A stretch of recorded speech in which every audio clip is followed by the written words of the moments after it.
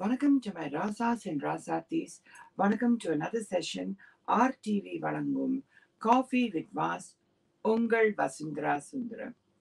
இன்னைக்கு வந்து என்னுடைய ரொம்ப பாசமா அன்பா ஒரு வெல் விஷர் வேற யாரும் இல்லை.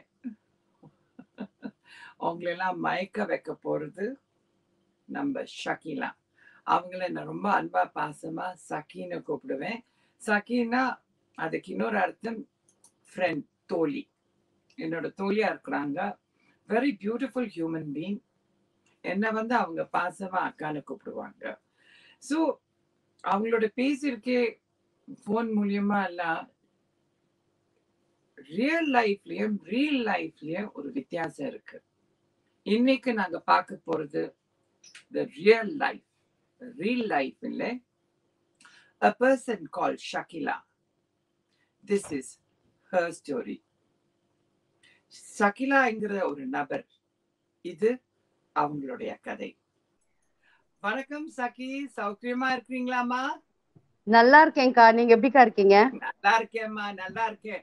உங்களை பார்த்த உடனே வருவாய் சகி தருவாய் ஒன்று செவ்வாய் முத்தம் ரசிப்போமே. செவ்வாய்? எங்களுக்கும் எங்க நேர்களுக்கும். கண்டிப்பாங்கக்கா கண்டிப்பாங்கக்கா. தேங்க்யூமா சௌக்கியமா இருக்கிறீங்களா? கொரோனா நல்லா இருக்கேன்க்கா. எங்க நேர்கள் சார்பாக ஆர்டிவி நேர்கள் காஃபி வித் வால் சார்பாக அக்கா ஆகிய நான் உங்களுக்கு உங்க பிஸி ஸ்கெட்யூல்ல முன் வந்திருக்கீங்க.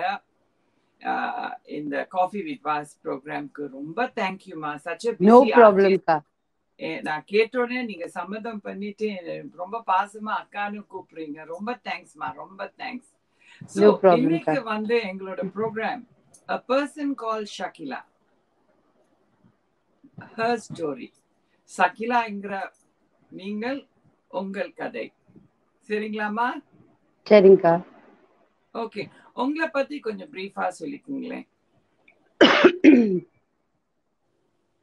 என்ன சொல்றதுக்கா நான் நிறைய இன்டர்வியூஸ்ல கொடுத்துருக்கேன். என்னை பத்தி பிரீஃபா நான் வந்து டென்த் ஸ்டாண்டர்ட் ஃபெயில் அப்படி நடிக்க வந்துட்டேன். அப்படியே லைஃப் ஓடிட்டு இருக்கு. வேற பெருசா எதுவும் இல்லக்கா. பெரிய சாதனைகள் எதுவும் செய்யல. சகி நிறைய நீங்க இன்டர்வியூ கொடுத்துருக்கீங்க. நான் உங்களுடைய one of your biggest fan in London நிறைய இன்டர்வியூ கொடுத்துருக்கீங்க. நேர்களே அந்த இன்டர்வியூ பார்க்கணும்னா சகிலா சகியோட பேர் தட்டினாலே அந்த இன்டர்வியூலாம் யூடியூப்ல வரும். ஸோ நான் வந்து என்னோட ப்ரோக்ராம்ல அரைச்ச பரப்பை அடி அரைச்சிக்கிட்டே இருக்காம புதுமையா செய்வோம். உங்களை பத்தி உங்களுக்கு பத்தி தெரியாத விஷயங்கள் நேர்களுக்கு காஃபி வித் பாஸ் ஃபேன்ஸ்க்கு என்ன சொல்லிக்க வரீங்க? ஆல்மோஸ்ட் எல்லாமே தெரியும்க்கா. நான் வந்து எனக்கு வீட்டை விட்டு அதிகமா வெளியே போறதுக்கு பிடிக்காதுக்கா. டிராவலிங். பிடிக்காது. எனக்கு. வீட்ல இருக்கணும் சமைக்கணும். நிறைய எல்லாருக்கும் சாப்பாடு போடணும். என் சம்- சமையல் நல்லா இருக்குன்னு எல்லாரும் சொல்லணும். அப்படி கொஞ்சம் எதிர்பார்ப்பேன். மத்தபடி ஸ்பெஷல் குவாலிட்டிஸ் எதுல இப்ப பாரு வீடியோ கேம் விளையாடுவேன்க்கா. வீடியோ கேம் ஆமா. அது வந்து டைம் பார்த்தேன்னா நான் கால் பண்ணும்போது சக்கி போது நாங்க என்ன செய்வோம்? அக்கா வீட்ல என்னக்கா சமையல? நான் சொல்லுவேன். அப்புறம் நீங்களும் வீட்ல என்னம்மா சமைச்சிருக்கேன்? இது பண்ணிருக்கேன். அப்புறம் சில ரெசிபி குறிப்பெல்லாம் நீங்க சொல்லிருக்கீங்க ப்ரோக்ராம்ல உங்ககிட்ட நிறைய கேட்டிருக்கேன்க்கா. ரொம்ப நன்றிம்மா. ஏன்னா நிறைய வாட்டி நாங்க நினைப்போம் இந்த மாதிரி ஒரு டாப் செலிபிரிட்டி அதுலயே ஒரு கிளாமரஸ் செலிபிரிட்டியான நீங்க குசினி பக்கம் போவீங்களாவே அது ஒரு கொஸ்டின் மார்க் அப்படி. உங்களுக்கு எப்படி வந்துச்சு இந்த ஈடுபாடு சமையல் துறையில? இல்லக்கா மம்மி இறந்ததுக்கு அப்புறமா எல்லாரோட சமையல் சாப்பிட்டு பார்த்துட்டேன். எனக்கு வந்து இல்ல எனக்கு வந்து எங்க அம்மா சமையல் மாதிரி இல்ல சோ எனக்கு சாப்பாடு எல்லாம் கொஞ்சம் கம்மி ஆயிடுச்சு எனக்கு. சாப்பிடவே பிடிக்கல. சோ திருப்பி ரிகலெக்ட் பண்ணி அம்மா இதெல்லாம் ஆட் பண்ணிருப்பாங்க அப்படிலாம் நினைச்சு நானே செய்ய ஆரம்பிச்சேன். இப்ப மம் எங்க அம்மாவோட சமையல் மாதிரியே நான் செய்வேன். கை பக்குவம் வந்துருச்சு. கை பக்குவம் வந்துருச்சு. மேற்கொண்டு நான் சொன்னேன் என்னுடைய காஃபி வித் வாஸ் ரசிகர்கள்லாம் யூரோப்ல இருக்கிற தமிழர்கள்லாம் நிறைய மகளிர் இருந்து ஆண்கள் இருந்து சின்ன பப்பாட்ட இருந்து குடுகுடு தாத்தா வரைக்கும் ஒன்னே ஒண்ணுதான் சொன்னாங்க. ஐ லவ் யூ ஷாக்கிலா நிறைய பேர் அன்பை நீங்க சம்பாரிச்சு வச்சிருக்கீங்கம்மா. ஆமீன்கா I love I love them all too ஏன்னா அவங்க சொன்னாங்க ஒரு கிளாமரஸ் ஒரு கிளாமரஸ் ஆக்ட்ரஸ் ஆன ஷக்கிலா. இப்ப இந்த காலத்துல வந்து நிறைய பேர் வந்து முன் வந்து அவங்க லைவ வந்து ஒரு ஓப்பன் புக் மாதிரி காட்டுறாங்க. நிறைய இன்டர்வியூஸ் எல்லாம் கொடுத்துருக்காங்க யூடியூப் சேனல் மூலியமா. அந்த இன்டர்வியூஸ் எல்லாம் பார்த்து நிறைய ஆஹ், என்னோட காஃபி வித் வாஸ் ஃபேன்ஸ் எல்லாம் கால் பண்ணி மெசேஜ் எல்லாம் பண்ணியிருக்காங்க. We love her as a person. Not only we admire her as a celebrity glamorous celebrity உங்களை admire பண்றாங்க. ஏன் உங்களை நேசிக்கிறாங்கன்னா நீங்க நீங்களாவே இருக்கிறீங்க. ஒரு போல்ட் கேரக்டர் ஒரு கிளியர் கட் கேரக்டர் புரியுதா? ஒரு ஒரு பந்தா கிந்தாலாம் காட்டாம ஒரு அன்பான கேரக்டரா சொல்றாங்க உங்களை. ஆமாங்கக்கா அதுக்கு வந்து பணம் எப்படி வேணாலும் சம்பாரிச்சிருக்கலாம். மனுஷாலோட மனசு சம்பாதிக்கிறது ரொம்ப சம்பாதிக்கிறது கஷ்டம்க்கா இது எங்க அப்பா சொல்லி கொடுத்தது. அதனால நான் ரொம்ப இம்பார்ட்டன்ஸ் கொடுப்பேன்க்கா. எனக்கு வந்து மனுஷங்க வேணும். என்னை சுத்தி இருக்கணும். ஆஹ் கெட்டவங்க நல்லவங்கன்றது நம்ம நடந்துக்கிறத பொறுத்துதான்க்கா இருக்கு. நம்ம எப்படி யார்கிட்ட நடந்துக்கிறோமோ அவங்க அதுக்கு கண்டிப்பா அதுக்கு ரெசிப்ரோக்ரேட் பண்ணுவாங்க. ஸோ எனக்கு நிறைய மனுஷங்களை சம்பாதிச்சுக்கணும். இன்னொன்னு open book first of all நான் ஏன்னாக்கா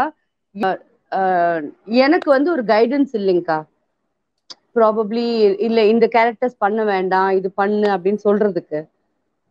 இப்ப நான் நினைக்கிறேன் இப்ப கொஞ்ச நாள் அதாவது இப்ப ஒரு பதினஞ்சு வருஷமா நான் எல்லா இன்டர்வியூ ஏன் ஓப்பனா இருக்கேன் அப்படின்னா என்ன மாதிரி I will not say that I I I do not regret கா நான் இந்த மாதிரி ஃபீல்டுக்கு வந்துட்டேன் மலையாள படங்கள்ல வந்துட்டேன்னா ரிக்ரெஷன்லாம் இல்லை. பட் இதோட நல்லா பண்ணியிருக்கலாமோ நிறைய நல்ல கேரக்டர்ஸ் பண்ணியிருக்கலாமோன்னு கொஞ்சம் எப்போ தோணும்.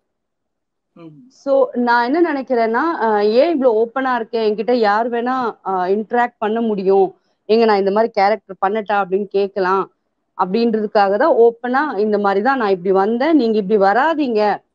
இப்படி பண்ணாதீங்கன்னு சொல்றதுக்காக தான்க்கா நான் இந்த மாதிரி ஓப்பனா இன்டர்வியூஸ் தரேன். வெரி குட்மா ஏன்னா நம்ம மனிதர்களுடைய இயற்கை கண்லை பார்ப்பதெல்லாம் உண்மைன்னு நம்பிடுறோம் ஆனா ஒரு பழமொழி இருக்கு. கண்லை பார்ப்பதெல்லாம் போய் காதலை கேட்பதெல்லாம் போய் தீர விசாரிப்பதே மெய். உங்களோட பழகும் போது நான் நினைச்சேன் இவ்வளோ பெரிய ஜாம்பவானோட நான் பழகுறேன்னு என்ன ரொம்ப அன்பா அக்கான்னு கூப்பிடுறீங்களே ஒரு மறுபக்கம் நான் பாக்குறேன் ஒரு ஹீரோவா நடிக்கிற மனுஷனை வந்து அந்த அந்த டைப் காட்டுறேன். இவர் நல்லவர். வில்லன்னா கெட்டவங்க. கிளாமரஸ் ஹீரோயின்னா ஒரு மாதிரி பாக்குறாங்க ஆமாவா இல்லையா? ஏன்னா ஒரு காலத்துல ஸ்விம் சூட் போட்ட ஹீரோயின்க இந்த காலத்துல வந்து அம்மன் வேஷம் போட்டுட்டு இருக்காங்க.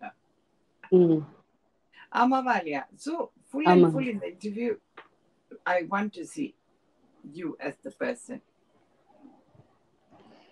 Ah அக்கா ஸ்விம் சூட் போட்டாலும் அவங்க வந்து அதை கேமரா முன்னாடி தான் நடிக்கிறதுக்காக தான் போடுறாங்க. அம்மன் வேஷம் போட்டாலும் அது வேஷம் தான் நடிக்கிறதுக்காக தான்க்கா போடுறாங்க. ஸோ அது பண்ண நீங்க இதை பண்ணக்கூடாதுன்னு சொல்றதுக்கு யாருக்கும் ரைட்ஸ் கிடையாது. அதுலயும் ரசிக்க முடியுது இதுலயும் ரசிக்க முடியுதுன்னா நான் ரொம்ப அப்ரிஷியேட் பண்றேன் அந்த மாதிரி ஆக்ட்ரஸ். ரெண்டாவும் ரெண்டு விதமாவும் பார்க்க முடியுது. அதுலயும் தப்பா தோணல அதுலயும் அழகா இருக்காங்க அம்மனாவும் அழகா இருக்காங்க. ஸோ ஐ ரியலி அப்ரிஷியேட்கா தேங்க்யூமா தேங்க்யூ அண்ட் ஃபர்தர்மோர் ஒரு நான் கேட்குற கேள்வி உங்களுக்கு பதில் சொல்றதுக்கு உங்களுக்கு விருப்பம் இல்லாட்டி நோ ப்ராப்ளம் நோ காமெண்ட்ஸ்னே சொல்லிருங்க நான் புரிஞ்சுக்குவேன். ஓகே அம்மா? நான் கேட்டாலாம் கேள்விக்கு பதில் சொல்லணும்னு அவசியமே இல்லைம்மா. ஸோ அதுல வந்து ஒரு படம் தான் எனக்கு ஞாபகம் வருது. அது நல்லா என் மனசை அப்படியே ஸ்டாப் பண்ண வச்ச படம். அதாவது சினிமா பைத்தியம் ஒரு black and white movie Jai சித்ராக்கா நடிச்ச மூவி நீங்க ஆமா ரொம்ப நல்ல ஆ ஜெய்சங்கர் அங்கிளும். நடிச்சிருக்காரு சோ அவங்க வந்து ஒரு ஸ்டுடியோக்கு போய் பார்க்கும்போது நம்ம சிஐடி சகுந்தலா அக்கா அவங்க. வந்து ஒரு கேப்ரே மாதிரி ஒரு டான்ஸ் பண்ணிட்டு கட்டுன்னு ம். சொன்னோடனே அவங்க உடனே எடுத்து இந்த டவல் எடுத்து அவங்க காலெல்லாம் கவர் பண்றாங்க ஸோ ஜெயசித்ரா கேட்டாங்க அந்த ஃபிலிம்ல ஏங்க கேமரா முன்னாடி இவ்ளோ பேர் சினிமால பாக்குறாங்க நீங்க செய்றீங்க. கட்டுன்னு சொன்னோடனே அப்படியே எடுத்துட்டு போத்திட்டு இருக்கிறீங்க. அவங்க சொன்னாங்க ஒரு பதில் இது வந்து என் தொழில். இந்த மாதிரி காட்சிகள் திணிச்சாதான் டிஸ்ட்ரிபியூட்டர்ஸ்லாம் வாங்குறாங்க. விற்பனை ஆகுது. ஸோ ம். ஆனா இதோட முட்டாள்தனம் என்னன்னா பாக்குறவங்க இதே நிஜம் நினைக்கிறாங்க. அது அவங்களோட முட்டாள்தனம். எங்களுக்குன்னு குடும்பம் இருக்கு ரெஸ்பான்சிபிள் இருக்கு குடும்பத்தை காப்பாத்தணும். நாங்க போட்டுக்கிட்ட வேஷம். ஆனா இதுதான் வேஷமே உண்மைன்னு நினைக்கிறது வந்து மக்களோட முட்டாள்தனம். அது வந்து ஒரு ஆணி வேர் மாதிரி என்ன இடிச்சிச்சு சக்கினா. உண்மையா சக்கி? உண்மையா? அத பத்தி நீங்க கண்டிப்பா உண்மைக்கா. கண்டிப்பா உண்மைங்கக்கா நாங்க எல்லாரும் கூடக்கா ஒரு ஒரு குளிக்கிற சீன் பண்ணாலும் எங்க அசிஸ்டன்ஸ் வந்து உடனே டவல்ஸ் வச்சிருப்பாங்க. ஏன் ஏன் இப்ப அந்த ஐம்பது பேர் முன்னாடி தான் நாங்க குளிச்சிருப்போம்? அதே ஐம்பது பேருக்கு முன்னாடி ஷார்ட்டை வந்து கட்டுன்னு சொன்னோடனே துணி போட்டுக்கிறோம்னா என்ன இருந்தாலும் அந்த அந்த கூச்சம் இருக்குக்கா. அது அது அது- வந்து வெறும் பெண் பெண்ணுக்கு தான் அப்படின்லாம் கிடையாதுக்கா. என் கூட நடிச்ச எத்தனையோ கிளாமரான சீன்ஸ் பண்ண ஆம்பளை பசங்களுக்கு கூட. அது என் கசின் என் கசின்ஸே நிறைய பேர் பண்ணிருக்காங்க நான் சொல்லியிருக்கேன் அந்த மாதிரி மலையாள படங்கள்ல என் கூட நடிச்சிருக்காங்கன்னு? அவங்க கூட எஸ்கா என்னோட பெரியப்பா பசங்க எல்லாம் வந்து என் கூட பெட்ரூம் சீனே பண்ணிருக்காங்க. ஆமா. பார்க்க உலகத்துக்கு என்ன தெரியும்? அவர் யாரோ தான் தெரியும். ஆனா அவர் என்னோட அண்ணா. சோ என்ன எப்படி தொடணும்? எல்லாமே அவருக்கு தெரியும். ஒரு தங்கச்சி எப்படி தொடுவாங்களோ அப்படிதான் தொட்டிருப்பாங்க. ஆனா படங்கள்ல பார்க்கும்போது அது மாதிரி ஜிக் மிக்ஸ் பண்ணி அவங்க மேல கை வைக்கிற மாதிரி எல்லாம் பண்ணிருக்கோம்னு வைங்க. பட் எல்லாருக்குமே ஒரு எத்திக்ஸ் இருக்குக்கா. நாம இப்படிதான். அப்படின்னுட்டு. யாருமே வந்து இங்கிலீஷ் ஏய் உனக்கு வந்து ஒரு நிமிஷம்க்கா எத்தனை வாட்டி சொல்றது? எப்பவுமே இப்படிதானா?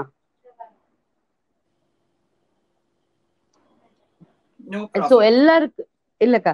சோ எல்லாருக்குமே ஒரு எத்திக்ஸ் இருக்குக்கா. நம்ம வந்து என்னதான் சம் ஆஃப் ஃபிகர் மெயின்டைன் பண்ணாலும் அவங்க கூட அந்த ஷார்ட்டை முடிச்ச அடுத்த செகண்ட் வந்து எப்படா போத்துக்கணும்?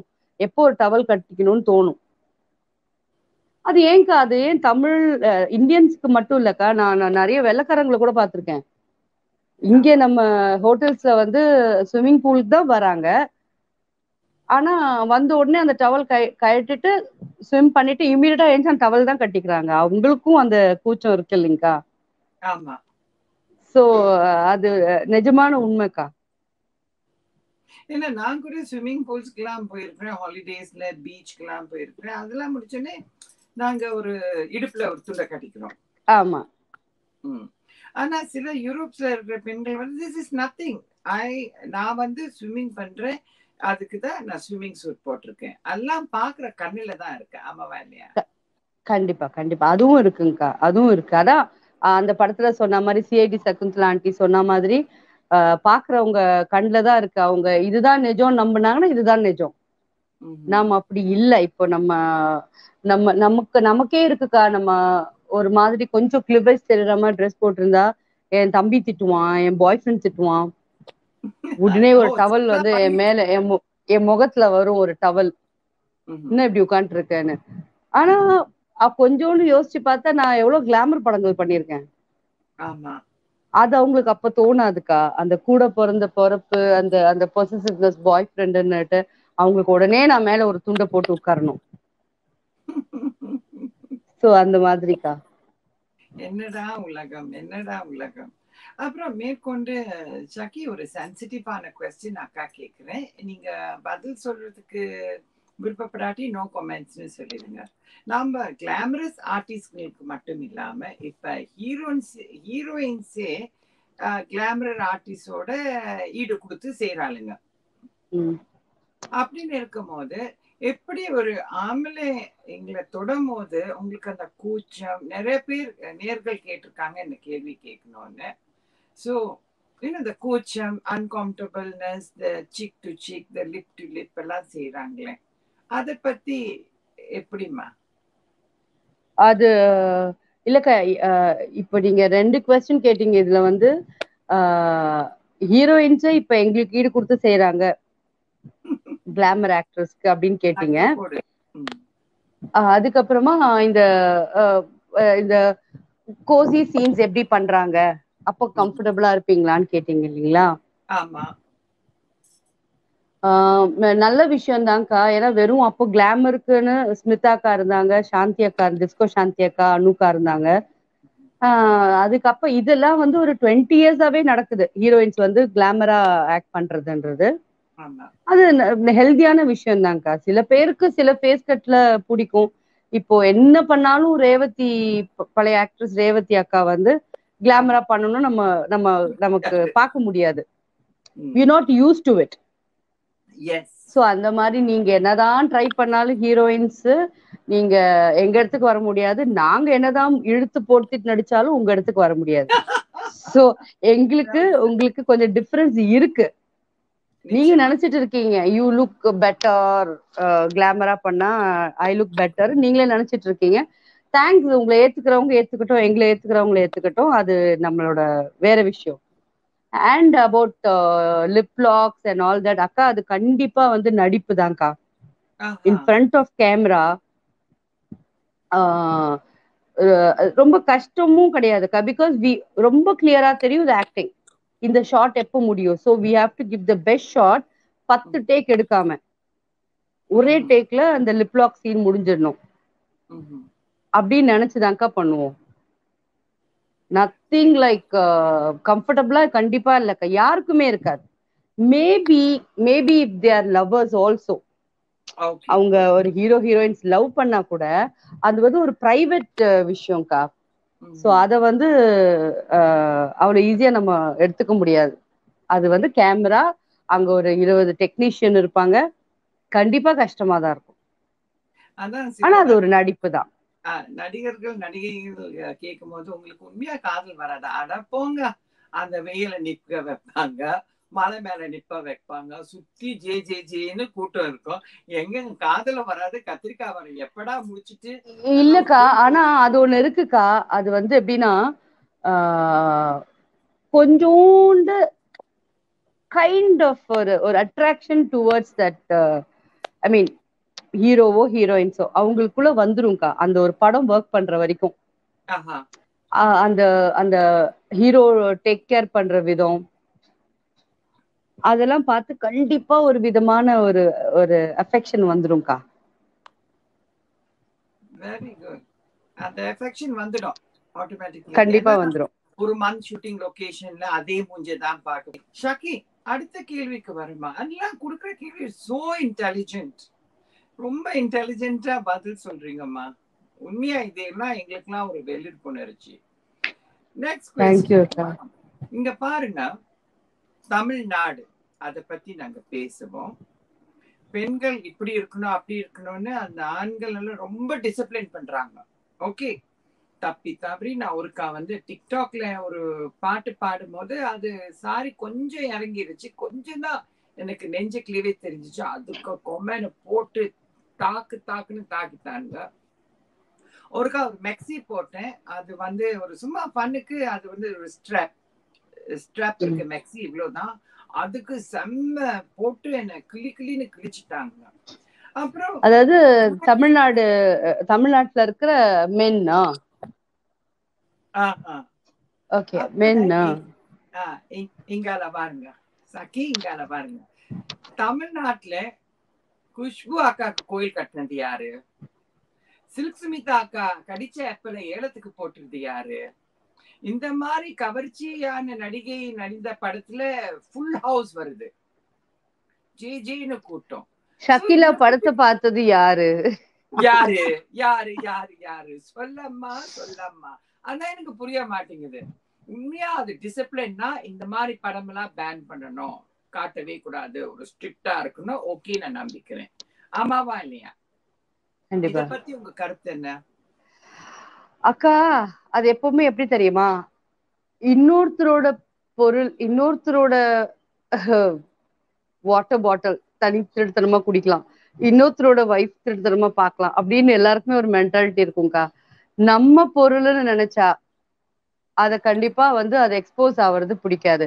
சோ தமிழ்நாட்டு ஆண்களுக்கு உங்களை எவ்வளவு பிடிக்கும்னா நீங்க லைட்டா எக்ஸ்போஸ் பண்ணாலும் எங்களால அதை ஏத்துக்க முடியல அப்படின்றதுதான் அவங்க வந்து உங்களுக்கு எடுத்து சொல்லியிருக்காங்க. நீங்க ஏன் இந்த மாதிரி ட்ரெஸ் பண்றீங்கன்னு உங்களை கிரிட்டிசைஸ் பண்றாங்க.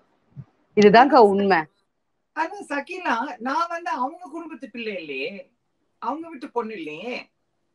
அதுதான் அப்படி இல்லக்கா. அப்படி நினைச்சிருந்தால் நான் அதான் சொல்றேன். இப்ப நம்ம வீட்டு பொருளா இருந்தாதான் நம்ம வந்து நமக்கு கோபம் வரும் உங்களை எங்க வீட்டு பெண்ணாதான் நாங்க நினைக்கிறோம் அப்படின்றத எடுத்து காட்டுறாங்க எங்க தமிழ்நாட்டு ஆம்பளைங்க.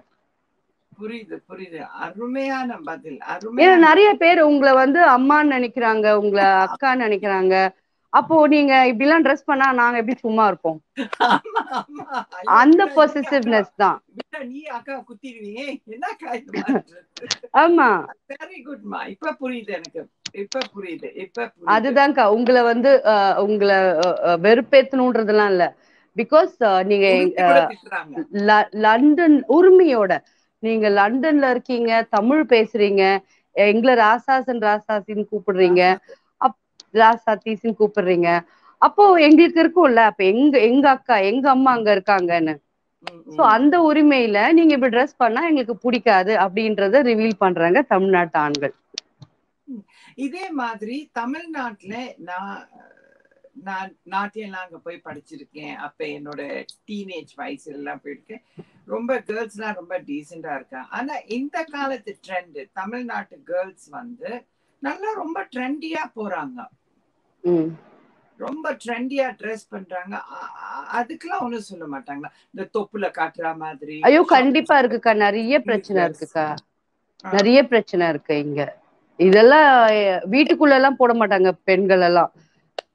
அங்க மேல ஒரு ஃபுல் டிஷர்ட் போட்டுட்டு அங்க எங்கேயாவது போய் அந்த மாதிரி இததான் பண்றாங்களே தவிர வீட்ல கண்டிப்பா ஒத்துக்க மாட்டாங்கக்கா. அந்த காலம் நம்ம மலேசியால எல்லாம் பண்ணி வீட்டை விட்டு வெளில போகும்போது ஃபுல் கவர் ஆமா. ஓப்பன் ஆமா. அந்த நடிகன் படத்துல குஷ்பு அக்கா பண்ண மாதிரி தான் ஆமா ஆமா. சோ அது நிஜம்தான்க்கா. அது மாதிரி ஒத்துக்க மாட்டாங்கக்கா நான் சொல்ல நான் என்ன நினைக்கிறேன்னா பெரிய பணக்காரங்க வீட்ல இப்படி இருக்குன்னா கூட அது கூட கிடையாது. இந்த லோவர் மிடில் கிளாஸ்ல தான் இந்த சினிமாங்களை பார்த்து இந்த மாதிரி ட்ரெஸ் பண்ணிக்கலாம்லாம் ஆசை. நீங்களாம் பெரிய வீட்ல எல்லாம் பாத்தீங்கன்னா கண்டிப்பா பாவாடை தாவணி போடணும். இன்னைக்கும் இருக்குக்கா. நான் நிறைய பேர் வீட்ல பாக்குறேன். ரொம்ப ட்ரெடிஷ்னலா வளர்ற குழந்தைங்களும் இருக்காங்க. இது ஒரு ஒரு ஒரு ஆசை தான்க்கா. கொஞ்ச நாள். அதுக்கப்புறம் வீட்ல வந்து திட்டு வாங்கினதுக்கு அப்புறம் அடங்கிடுவாங்க. அதான் எனக்கு வந்து உங்களுக்கு தெரியும் பெத்தவளுக்கு ஒரு பிள்ளை பெறாதவளுக்கு ஊர் எல்லாம் பிள்ளை. எனக்கு திரு நங்கை மகளுங்களும் இருக்காங்க மகள் மகளுங்களும் இருக்கா பெண் மகளுங்களும் இருக்காங்க. அவனுக்கு அவங்களுக்கு நான் என்ன என்கரேஜ் பண்ணேன் இதுதான் வயசு. ஸ்பெகட்டி ஸ்டாப் போட போறீங்களா போடுங்க. மினி ஸ்கர்ட் போட போறீங்களா போடுங்க. அதெல்லாம் அந்தந்த வயசு. என். வயசுக்கு வந்தோடனே என் வேஷத்தை போடுங்க. அது வந்துரும்க்கா பொறுப்பா இருக்கிறவங்களுக்கு. சில பல பொறுப்புல இருக்க இப்ப நீங்க அத்தனை பேரோட தாய். சோ கண்டிப்பா உங்களை பார்த்துதான் நாங்க ஃபாலோ ஆவோம். இப்ப நான் கூட அந்த காலத்துல எல்லாமே கிளிவேஜ் தெரியாம ட்ரெஸ்ஸஸ் தான் எல்லாம் அப்படிதான் யூஸ் பண்ணிட்டு இருந்தேன். இப்ப நான் பண்ற ஷோஸ கொஞ்சம் கூட இறக்கம் இருக்கு இறக்கம் இருக்க கூடாது. அந்த மாதிரி தான் இப்ப யூஸ் பண்ணிட்டு இருக்கேன்.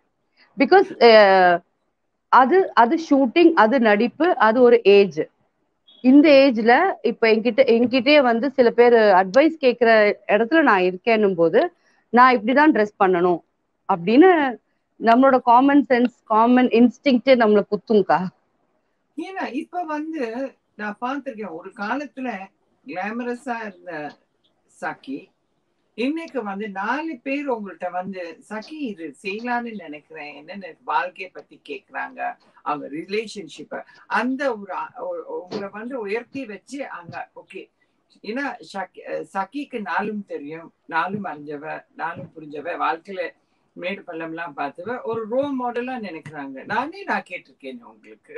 இன்னைக்கு சகி நான் சல்வார் கமீஸ் போடலாமா? என்ன நினைக்கிறேன் ஆ போடுங்கக்கா நல்லா இருக்கும் தானே பிகாஸ் உங்க opinion your opinion means a lot to us.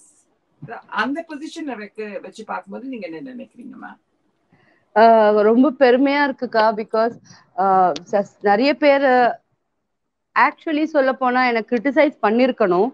ஆஹ் என்ன இந்த அம்மாக்கு ஒரு லைஃப் இல்ல ஒரு குழந்தை இல்ல ஹஸ்பண்ட் இல்ல ஒண்ணும் இல்ல என்ன இதெல்லாம் அப்படின்னு நினைச்சு நினைச்சிருக்கணும். ஆனா என்னை எப்படி யாருமே நினைச்சது இல்ல பிகாஸ் நான் எப்பவுமே கெடுதல் சொல்லி கொடுத்தது இல்ல நான் இந்த கஷ்டப்பட்டுட்டு இருந்தேன் பட்டேன்.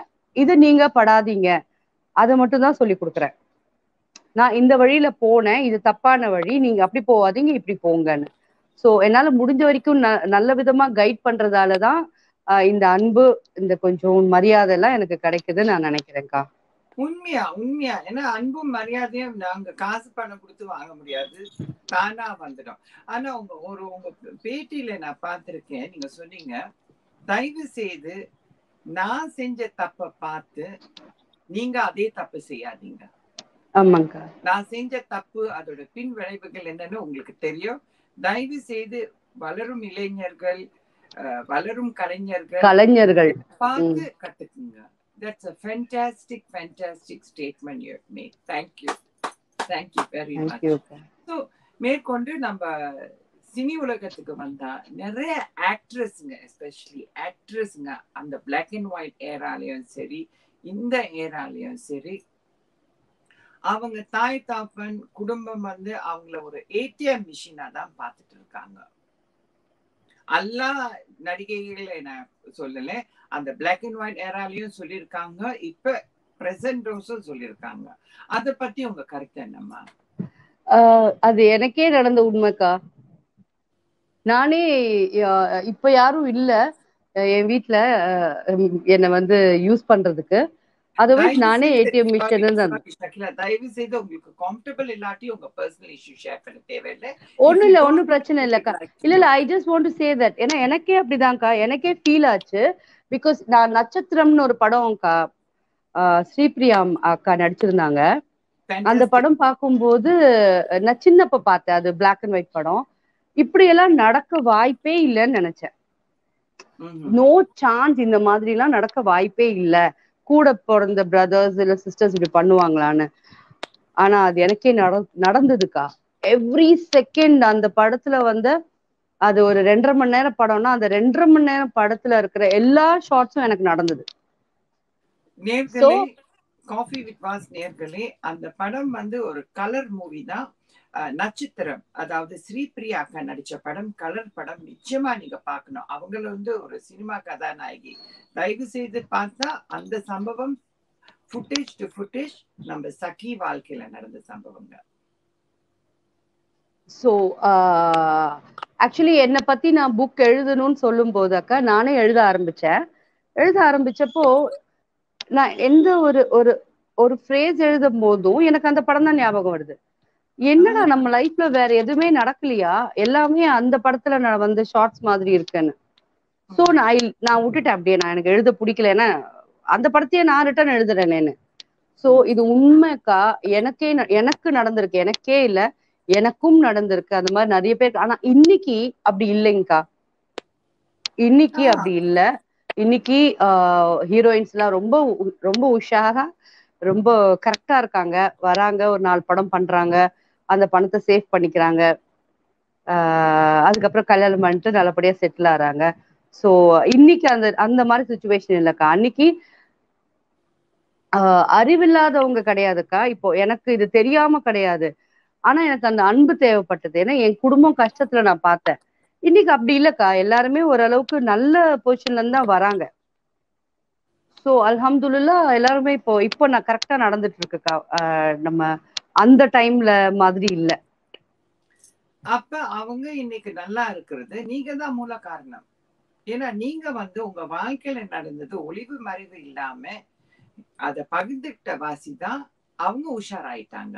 அப்படின்னு சொல்ல முடியாதுங்கக்கா. எல்லாருமே வந்து நம்மளோட இன்டர்வியூ பார்க்கணும் நம்மளை பார்த்து நம்மள ரோல் மாடலா எடுத்துக்கணுன்ற அவசியம் இல்ல. இப்ப நான் வந்து ஏழு வருஷம் முன்னாடி நான் இப்படி இல்ல. நான் அப்படியே நொந்து நூடுல்ஸா லைஃப்ல என்ன பண்ண போறேன்னு உட்காந்தப்போ கிருபாமாவை மீட் பண்ணி அவங்க என்ன வந்து ஒரு பொண்ணா தத்தெடுத்ததுக்கு அப்புறமா அம்மாவை பார்த்து நான் தெரிஞ்சுக்கிட்டேன். எனக்கு தெரியும் நேர்களுக்கு கொஞ்சம். கிருபாமான்றவங்க இங்க வந்து டிரான்ஸ்ஜெண்டர் அக்கா திருநங்கை. அவங்க வந்து இங்க எல்லாருக்குமே தெரியும். தமிழ்நாடு ஃபுல்லா அவங்கள தெரியும். தமிழ்நாடு என்ன இந்தியா ஃபுல்லா தெரியும். அவங்கள ஒரு ஃபங்க்ஷன்ல நான் மீட் பண்ணேன்க்கா. வணக்கம் அவங்க பாம்படுத்தி குரு உங்க பேச்சின் தலைக்கு மேல. உங்கள் வசுந்தரா சுந்தரம். அப்போ அவங்க வந்து என்னை பார்த்த உடனே அவங்க தெரிஞ்சுக்கிட்டாங்க எனக்கு எதுவுமே தெரியல அப்படின்னுட்டு. தெரியல இந்த சென்ஸ் கைடன்ஸ் இல்லைன்னு புரிஞ்சுக்கிட்டாங்க. நான் உன்னை உன்னை வந்து நான் தத்து எடுத்துக்கிறேன் ம்ஹும். அப்படின்னு சொன்னாங்க. அவங்க எடுத்துக்கிட்டாங்க. அது அவங்க கிட்ட நிறைய கத்துக்கிட்டேன்க்கா. அம்மாவால இப்படி இருக்க முடியுது. இந்த ஏஜ்ல ஆஹ் இவ்ளோ ஆக்டிவா இருக்க முடியுது. இவ்ளோ புத்திசாலித்தனமா யோசிக்க முடியுது. அதுல இருந்து ஆஹ் நான் எது பண்ணாலும் அம்மா கிட்ட தான் கேட்பேன். அம்மா நான் இது பண்ண போறேன் அம்மா இது பண்ணட்டா அதை பண்ணட்டான்னு சொல்லிட்டு. சோ உண்மையிலேயே என்னை பெத்த அம்மா கூட எனக்கு அவ்வளவு நல்லதெல்லாம் செஞ்சல கிருபாம்மா செஞ்ச மாதிரிக்கா. அல்ஹம்துலில்லாஹ் லாங் லிவ் fantastic, மா fantastic.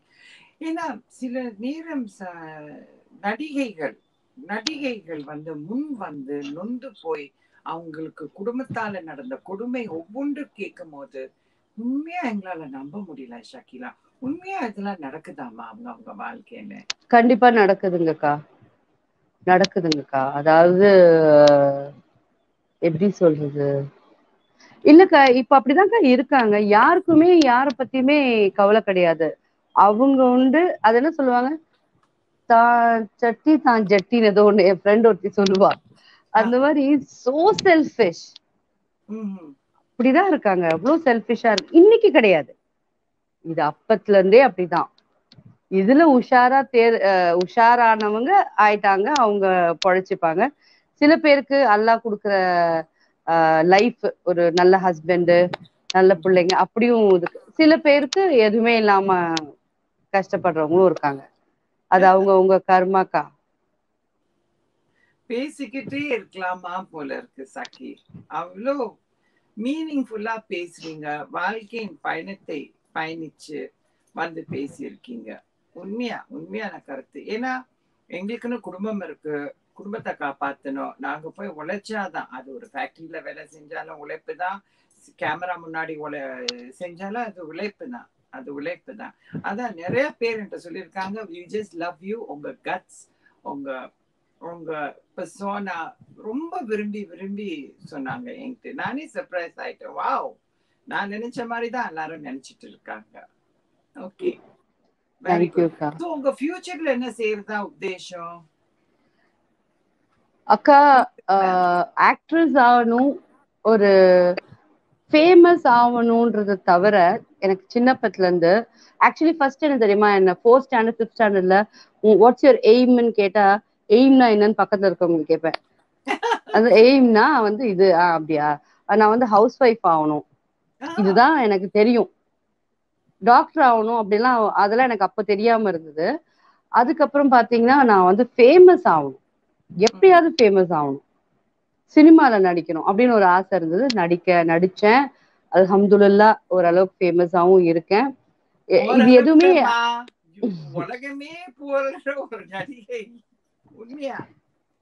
ஆமாங்கக்கா அல்ஹம்துல்லா தேங்க்ஸ் அல்லா ஆனா இப்போ வந்து அக்கா இது எதுவுமே நான் வந்து பிளான் பண்ணல. எல்லாமே கட- கடவுள் கொடுத்தது தான் இந்த இனிமே ஃபியூச்சரும் கடவுள் ஏதோ ஒரு பிளான் பண்ணி வச்சிருப்பார். அது அப்படியே நடக்கட்டும்.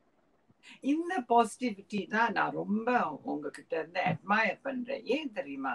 என்னோட காஃபி வித் வாஸ் ப்ரோக்ராம்ல என்னை கவிழ்ந்த நபர்களை தான் நான் முன் கொண்டு வந்திருக்கேன். நான் வந்து பேசும்போது நீங்க சொன்னீங்க பொண்ணு நான் அப்படி என்னக்கா பண்ணிட்டேன்? இந்த பாசிட்டிவ் ஆட்டிடியூட் தான். ரெஸ்பெக்டிவ் ஃபார் தட் அங்க டாப் பீக்ல இருந்தீங்க. இமோஷனலியா டவுன்னு சொல்லி நொந்து நூடலா போயிட்டீங்கன்னு திருப்பி அதை ஹெல் வித் லைஃப்னு சொல்லிட்டு அந்த சேலஞ்ச் எடுக்கிறீங்களே. ஸோ இந்த அட்வைஸ் நீங்க பெண்களுக்கு என்ன கொடுக்க போறீங்க? இது ஏன்னா யூரோப்ல சில நிறைய பெண்களுக்கு டிப்ரெஷன் இந்த மாதிரி யூரோப்ல இல்லக்கா வேர்ல்டு முழுவதும் இருக்குக்கா. ஒரு நம்ம அப்படி கல்ஃப்ல பார்த்தா கூட யூரோப்லயாவது பேசுறவங்க இருக்காங்க.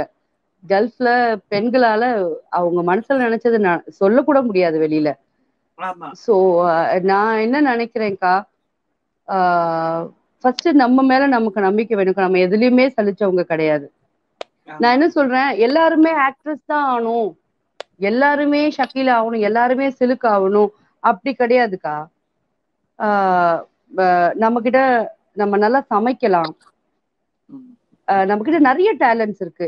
அதுல இருந்து எந்த டேலண்ட் நமக்கு எது ஒழுங்கா வருதோ அதை டெவலப் பண்ணாலே போறோம்க்கா என்னைக்குமே எப்போ ஆண்டவன் ஒருத்தருக்கு கை கால் ஒழுங்கா கொடுத்து எல்லாத்தையும் ஒழுங்கா கொடுத்துருக்காரோ நம்ம வாழ தகுந்தவங்கன்னு அர்த்தம். அதுக்காக எதுவுமே இல்லாதவங்க டிசேபிள்டு வந்து வாழ தகுதி இல்லையா கிடையாது. நம்மளை விட அவங்க கொடுத்து வச்சவங்க ஏன்னா they are children of God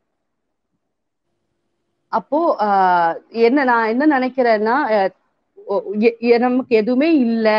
நம்மளால முடியாது. We should be depend on a man அப்படின்றது கண்டிப்பா கிடையவே கிடையாதுக்கா. ஏன்னா பெண்களுக்கு மட்டும்தான் கடவுள் வந்து சகிப்பு தன்மை கொடுத்திருக்காரு அதாவது நம்ம எல்லாருக்குமே சொல்றேன். சகிப்பு தன்மை கொடுத்திருக்காரு. நம்ம ஆல்மோஸ்ட் லைக் பூமா தேவிக்கு சமம் ஒரு ஒரு பாருங்களேன். நம்ம எங்கேயாவது பெண்கள் குடிச்சிட்டு கலாட்டா பண்ணி ரோட்ல விழுந்து கிடக்குறாங்க அடிக்கு தடி குத்து கித்துன்னு கேள்விப்பட்டிருப்போமா? ஆம்பளைங்க தானே அதெல்லாம் பண்றாங்க. சோ அவங்களையே சகிச்சுக்கிறோம்னா நம்ம நம்ம பூமாதேவிக்கு சபம் தானே நிச்சயமா நிச்சயமா சோ அப்படிதான்க்கா நம்ம நினைச்சுக்கணும். சோ எல்லாருமே தைரியமா இருக்கணும். நம்மளால முடியாதது கிடையாது. வேற எனக்கு சொல்ல தெரியலக்கா. பாருங்க சகிலா இந்த பிலிம் இண்டஸ்ட்ரியில நிறைய ஆக்ட்ரஸ்ங்க வந்துட்டு போறாங்க போறாங்க. இப்ப இருக்க ட்ரெண்ட்ல ஒன் டூ இயர் அப்புறம் இப்ப ட்ராக்கே பண்ண முடியல. யாரு யாரு யாருன்னு. ஆனா அந்த காலத்துல இருந்து இந்த காலம் வரைக்கும் அந்த கால கிளாமரஸ் ஆக்ட்ரஸ் வந்து டி ஆர் ராஜகுமாரி அம்மா. மன்னா என் கண் விழி அசைந்தாலே உன் சிம்மாசனம் என் காலடியில்.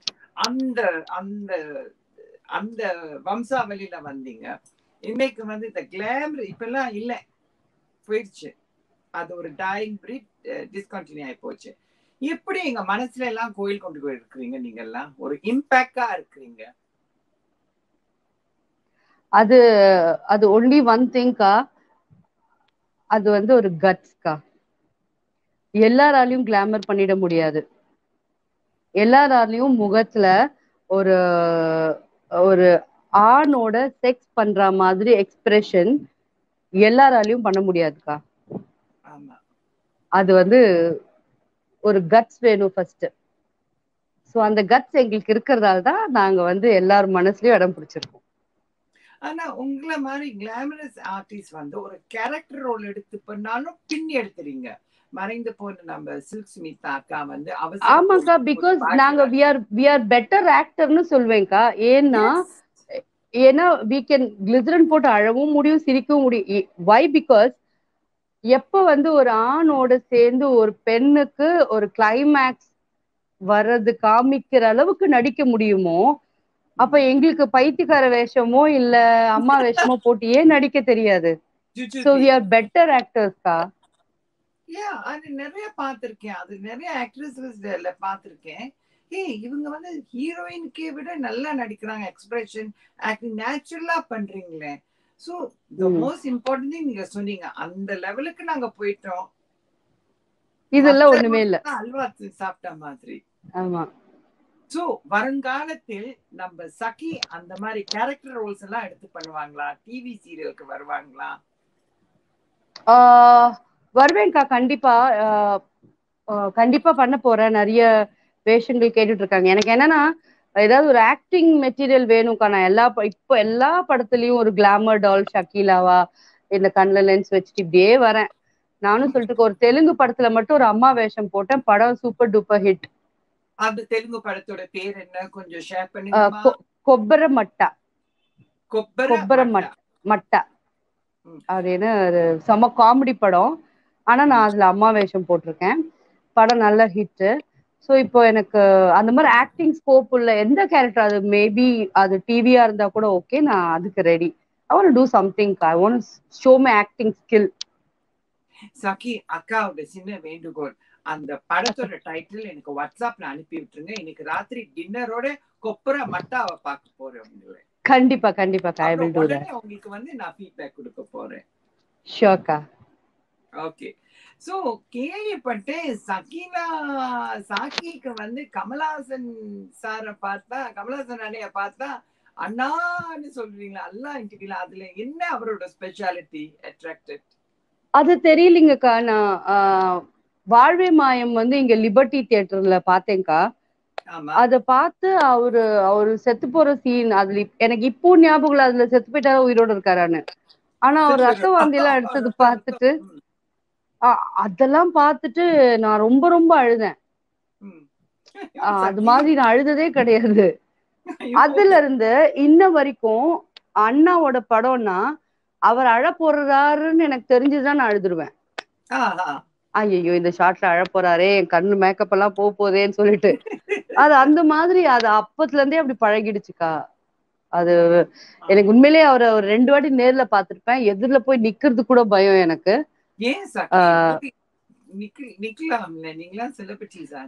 இல்லக்கா ஆக்சுவலி நினைச்சா போய் நிக்கலாம். அதெல்லாம் ஓகேக்கா ஆனா எனக்கு என்ன தெரியுமா? ஒரு மனசு கஷ்டம்.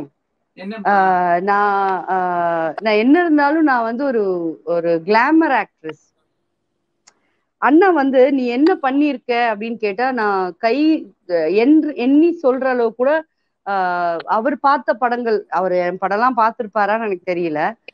அவரு ஒரு பத்து படம் கூட எண்ணி சொல்ல முடியாதே. அவர் நீங்க என்ன பண்ணிருக்கீங்க? நீங்க எந்த படத்துல நடிச்சிருக்கீங்கன்னா நான் மலையாள படத்துல நடிச்சிருக்கேன். அவர்கிட்ட சொல்றது மட்டும்தான் எனக்கு மனசு கஷ்டம். ஏன்னா அவர் கிஸ் அடிக்கிற சீன் என்னால பார்க்க முடியாது. ஐயோ அண்ணா வேற. எனக்கு வெக்கமா இருக்கும். அக்கா நம்ம கூட பிறந்த அண்ணா அப்படின்னா என் தம்பி இருக்கான். அவங்க வைஃபோட உள்ள இருக்காங்க. நமக்கு வெக்கமா இருக்குமா இல்லையா? நம்ம அந்த பக்கம் பார்க்க மாட்டோம். அந்த மாதிரி எனக்கு அண்ணனை வந்து ஏதாவது ஒரு சீன்னா அப்படி தலை குனிஞ்சிட்டு தான் நான் பார்ப்பேனே தியேட்டர்ல சோ அவர்கிட்ட என்னால அது என்ன ஒரு ஒரு இன்ஃபீரியாரிட்டி காம்ப்ளெக்ஸ் தான்க்கா எனக்கு. கில்ட்டி கூட கிடையாது. ஒரு இன்ஃபீரியாரிட்டி காம்ப்ளெக்ஸ் அண்ணனை வந்து ஆஹ், நான் என்ன சாதிச்சிருக்கேன்? நான் அண்ணன் கிட்ட பெருமையா வந்து நான் மலையாள படத்துல செக்ஸ் படத்துல நடிச்சு சாதிச்சிருக்கேன். அப்படின்னு அவர்கிட்ட சொல்ல முடியாது அப்படின்னு எனக்கு ஒரு நினைப்பு. அதனால இப்ப ட்ரை பண்ணிட்டு இருக்கேன். ஒரு ஏதாவது ஒரு நல்ல படங்கள் வந்து நல்ல கேரக்டர் பண்ணி அண்ணா கிட்ட அண்ணா நான் இந்த படத்துல நடிச்சிருக்கேன்னு சொல்லலாம் டெஃபினெட்லி யூ டு இட் என்னுடைய விஷஸ் பெஸ்ட் விஷஸ் you, அக்கா. விஷஸ் ஏன்னா நிச்சயமா நிச்சயமா கமல்ஹாசன் அண்ணன் வந்து உங்களை பார்த்திருப்பாரு. நிச்சயமா தெரியும். தயவு செய்து அடுத்த வாட்டி பார்க்கும்போது என்ன கொஞ்சம் நினைச்சுக்குங்க. இல்லாட்டி குட்டி கால் அக்கா நிக்கிறா என்ன செய்யுது போ ஷக்கிலா போ ஷக்கி போ. நான் மோட்டிவேட் பண்ணேன் டெஃபினெட்லி கண்டிப்பாக்கா கண்டிப்பாக்கா. ஏன்னா அவர் வந்து அவர் திரையில இருக்கிற நபர்கள் வந்து ரொம்ப அன்பா பேசுவாரு. எல்லாம் ஒன் ஃபேமிலின்னு சொல்லிட்டு ஏன்னா அவரும் ரேங்க் அண்ட் ஃபைல் கீழ இருந்து தான் மேல உச்சிக்கு வந்தாரு. அது உண்மைதான்க்கா. ஆனா இப்போ வந்து அவரை ஈஸியா நெருங்க முடியல அப்படின்ற நிறைய இடத்துல இருந்து கம்ப்ளைண்ட் வருது. முதல் மாதிரி இல்லாம இப்ப அரசியல்ல இருக்கிறதால எங்களுக்கே தெரியும். எங்கெங்க தடுக்கிறாங்க எங்கெங்க தடுப்பு போடுறாங்கன்னுட்டு. பட் அதையும் மீறி ஆனா அண்ணா என்ன ஒரு நாள் என்ன கூப்பிடுவாரு என்கிட்ட நீ வா ஆபீஸ்க்கு வான்னு சொல்லுவாருன்னு. என் மனசு சொல்லிட்டே இருக்கு. நிச்சயமா அது நடக்கும் ஷக்கி. நிச்சயமா அது நடக்கும்.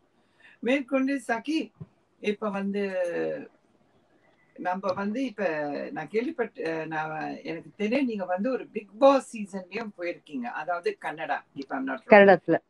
அத பத்தி கொஞ்சம் ஷேர் பண்ணிக்க முடியுமா அந்த பிக் பாஸ் ஏன்னா எங்க நேர்கள்லாம் மெஜாரிட்டி மெஜாரிட்டி இல்ல எல்லாமே தமிழர்கள் தான்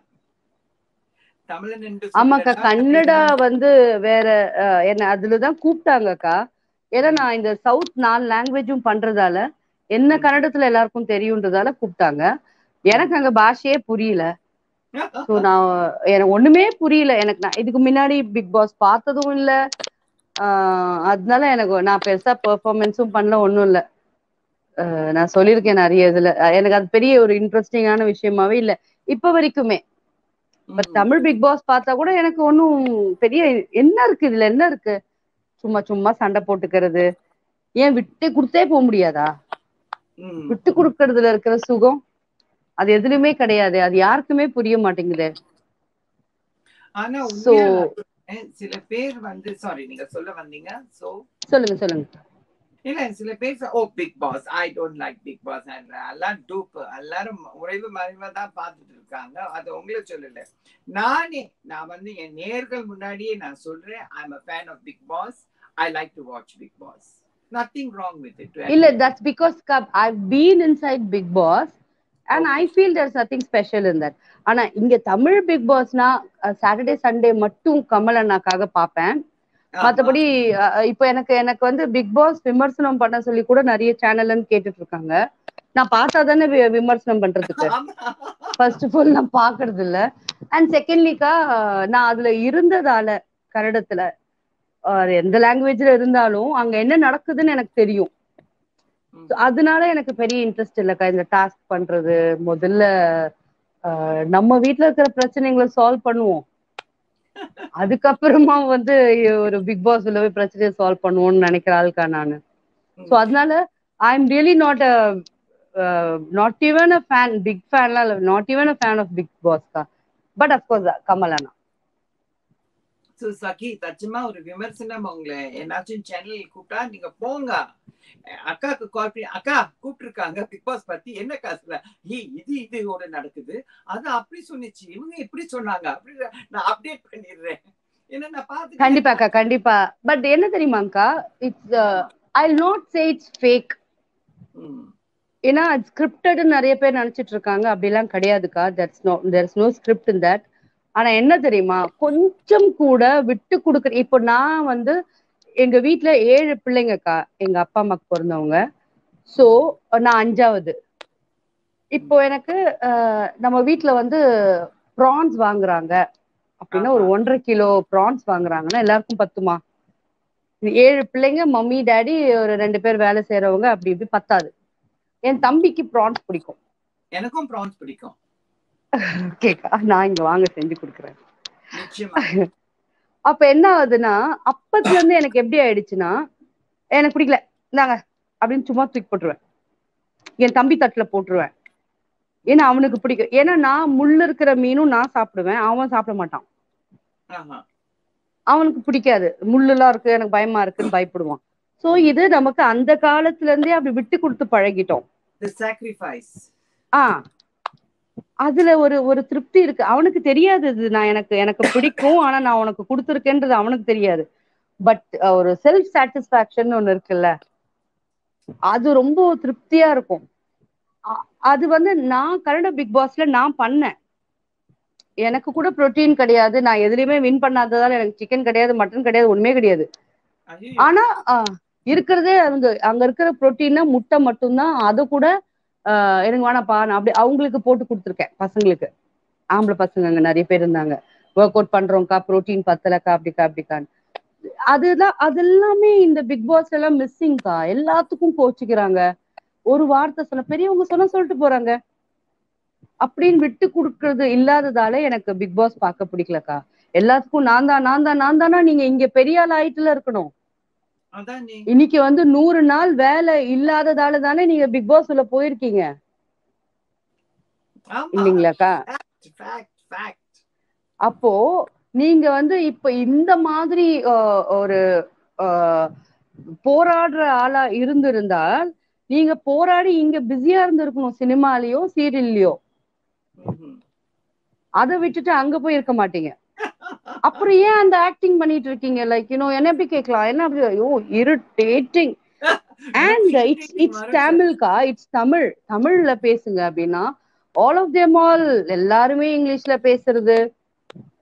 யாருக்கு சொல்லி தரீங்க? நாங்களும் கான்வென்ட் தான். இல்லைங்களா? அதனால எனக்கு அதனால பெருசா எனக்கு பிடிக்கலக்கா. சாரி சாரி நான் வந்து பிக் பாஸ் வந்து கெட்ட ப்ரோக்ராம்னு சொல்ல நல்ல ப்ரோக்ராமும் இல்ல. அதுல கத்துக்கிறதுக்கு ஒண்ணுமே இல்ல. நீங்க சொன்னீங்களே ஒரே அடி வான வெட்டி உண்மையான கருத்து. எனக்கு வந்து ஒரு என்டர்டெயின்மெண்டா தான் பாக்குறேன்மா அக்கா ஆமா. ஏன்னா because if you are here கண்டிப்பா எங்களெல்லாம் நீங்க டெய்லி மீட் பண்ணலாம். நாங்கெல்லாம் உங்க வீட்டுக்கு வந்து அங்க சாப்பாட்டுக்கு வந்திருப்போம். கண்டிப்பா கொட்டிக்கிறதுக்கு உங்க வீட்டுல தான் வந்திருப்போம். நீங்க வந்து சென்னையில இருந்திருந்தீங்கன்னா நீங்க அங்க இருக்கிறதால உங்களுக்கு தமிழ் ப்ரோக்ராம்ஸ் பாக்குறதே அரிது. அதுல வந்து ஆக்டர்ஸ் எல்லாம் பாக்குறது உங்களுக்கு ஒரு இது ஒரு ஒரு கைண்ட் ஆஃப் ஆமா. அதனால நீங்க அந்த ப்ரோக்ராம் பாக்குறீங்க. அவ்வளவுதான் நான் சொல்லுவேன். இப்படியும் இருக்காங்களா இப்படியும் இருக்காங்களா அப்படின்னு பாத்துட்டு இருக்கீங்க மத்தபடி எங்களோட வந்து நீங்க ஒரு ஒன் மந்த் இங்க இருந்தீங்கன்னா ஆக்டர்ஸோட இன்டர்வியூவே எடுக்க மாட்டீங்க. ஏமா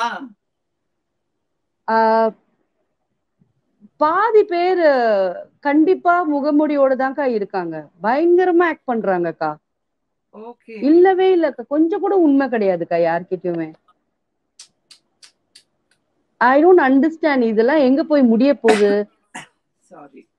நாளைக்கு நாளைக்கு இருக்கு. அக்கா கத்திரிக்காய் மளிகை சந்தைக்கு தானே வரப்போகுது ஒரு நாள்? அதுதான். அது ஏன் அந்த அளவுக்கு பண்ணிக்கிறீங்க? அது நீங்க வந்து ஆஹ், ஒரு தோட்டத்துல இருக்கிற கத்திரிக்காவா இருந்து நேரா அவங்கவுங்க வீட்டுக்கு போய் சமையல் அறையில உட்காருங்கன்ற.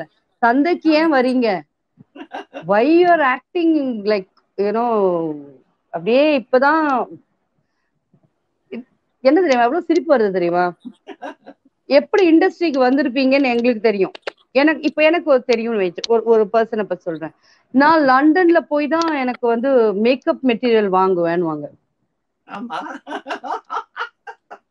துபாயில போய் தான் பெர்ஃப்யூம் வாங்குவேன் அப்படின்வாங்க நீங்க டிக்கெட்டே போட்டு போயிருக்க மாட்டீங்க. உங்களுக்கு ஒரு ஸ்பான்சர் வேணும்.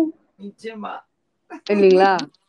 அது அதுதான் எனக்கு அதெல்லாம் எனக்கு என்னால அந்த மாதிரி ஃபேக்காலாம் இருக்க முடியாதுக்கா. ஐ நீங்க என்ன ட்ரிங்க் கேட்டீங்கன்னா வாட் யூ ட்ரிங்க் அப்படின்னா நான் சொல்லுவேன் நான் இந்தியன் ட்ரிங்க் தான். என்னால அதான் அஃபோர்ட் பண்ண முடியும். டெய்லி வந்து ஷிவாஸ் ரீகல் அது இதெல்லாம் நம்மளால வாங்க முடியாது. முடியாதுன்றதை விட அது உண்மை இல்லை. அப்படி இப்ப நான் சொன்னேன்னா. சரிங்களா? இன்னைக்கு எலைட் ஷாப்ஸ் இருக்கு. அதுல ஓரளவுக்கு டீசென்டான ட்ரிங்க் கிடைக்குது. நம்ம அதுதான் சாப்பிடுறோம். அப்படி சொல்லவே மாட்டாங்க. See I like Bloody Mary I like screwdriver Niño I like martini இதெல்லாம் ஓவர்க்கா ஐயோ I love you I love you so much Saki. அதுதான் நேர்களே.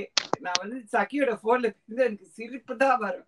சொன்னத அப்படியே சொல்லிடுவாங்க யாக்கா இமேஜின் இமேஜின் இப்ப இப்ப martini is costing you around eight hundred rupees here in Tamil Nadu சென்னையில eight hundred to nine hundred ஒரு மார்டினின்னு வைங்க. அதுக்கு ஒரு மார்பியஸ் பிளாக் ஃபுல் வரும். அது மார்டினி நம்ம வாங்கி குடிக்க மாட்டோம். If somebody is going sponsor அப்போ ஆர்டர் பண்ணுவேன். Yeah Jal have a Martini அப்படின்னு. நம்மலாம் இருந்தா ஐயோ ஒரு புல்லு வருமே அதை வாங்கிட்டு வீட்டுக்கு போயிடலாம் அப்படின்னு இதுதான்க்கா உண்மை. இந்த யதார்த்தம் இல்லாததாலதான் தேவைக்கு மேல சம்பாதிக்க வேண்டியதா இருக்கு. நான் நிறைய ஆக்டர்ஸ் சொல்றேன். இப்போ ஆஹ் விரலுக்கு ஏத்த வீக்கம் இருந்தா நம்ம தப்பா தப்பா சம்பாதிக்க தேவையில்லை நம்ம பேர் கெட்டு போக போறது இல்ல நம்ம யாருக்குமே பயப்பட போறது இல்ல நம்ம மடியில கனம் இல்ல. ஆனா அந்த மாதிரி இல்ல. உங்களுக்கு உங்க வசதிக்கு உங்களோட தேவைக்கு இங்க வந்து ஒரு I ten I twenty I ten இருந்தா போதும்னு நினைக்கிறவங்க கூட ஆடி வாங்குவாங்க கடன்ல. அது எப்படி நீங்க கட்ட போறீங்க. அதுக்கு ஒழுங்கா உழைச்சா பரவாயில்ல. ஒழுங்கா எத்தனை பேருக்கு வேலை இருக்கு. செம்மையா நடிக்கிறவங்களுக்கே இல்ல. சுமாரா நடிக்கிறவங்க எல்லாருக்குமே கிடைச்சிருமா? சோ அதெல்லாம் யோசிக்கணும்க்கா. அதெல்லாம் நிறைய தப்பு நடக்குது. அதனாலதான் எனக்கு இண்டஸ்ட்ரியில பெருசா ஃப்ரெண்ட்ஸ் எல்லாம் கிடையாது. பிகாஸ் யாருமே உண்மை கிடையாது. சரி சகி இன்னொரு எனக்குள்ளே இருக்கிற இந்த கேள்வி நான் கேட்கிறேன் இதுதான் சரியான சந்தர்ப்பம் கேட்கறதுக்கு. ஆக்ட்ரஸ்க்கு இன்டர்வியூஸ்லாம் பார்த்துருக்கேன். அந்த பிளாக் அண்ட் ஒயிட் ஏரா சரி இந்த ஏராவும் சரி. எப்படி நீங்க சினிமாக்கு வந்தீங்க? எனக்கு நான் வந்து ஒரு சரியான கான்சர்வேட்டிவ் ஃபேமிலில இருந்து வந்திருக்கேன். ஆமா. நாங்கெல்லாம் பிராமின்ஸ் ரொம்ப கான்சர்வேட்டிவா இருப்போம். இந்த வெளியில எல்லாம் போக மாட்டோம் அப்புறம் ஒரு டைரக்டர் வந்தாரு வீட்டுக்கு. அப்புறம் நான் வந்து பரதநாட்டியம் ஆடும்போது என்ன ப- பார்த்துட்டு. பரதநாட்டியம் ஸ்டேஜ்ல தெய்யும் தத்தா தெய்யும் தா ஆடும்போது ஆமா. பார்த்தாங்க. காலேஜ்ல எனக்கு ஒரு ஃபங்க்ஷன் நடந்துச்சு பார்த்தாங்க. தெரியாம இன்னொருத்தங்க ஆல்பம் வந்து இந்த டைரக்டர் கைக்கு போச்சு. அவர் பார்த்துட்டு உடனே இவளை புக் பண்ணுன்னு ஐயோ என் பேரண்ட்ஸ் நான் முடியாதுன்னு சொல்லிட்டாங்க.